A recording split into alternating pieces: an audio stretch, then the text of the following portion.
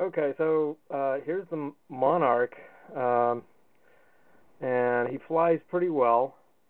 Uh, he flies a little on the fast side, so I'm going to try and increase the up elevator to see if I can't get him to go uh, a little bit slower, and hopefully he'll be a little bit more maneuverable.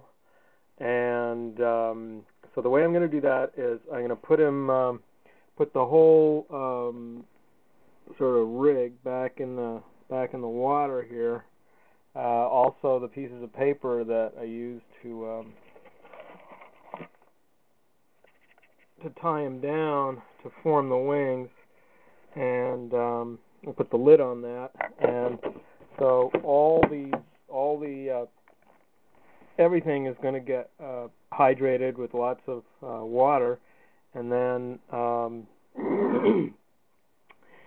then we'll uh, uh, strap it down the way we want it, uh, increase the uh, ele- up elevator, and then put them out to dry, and uh, that should do it.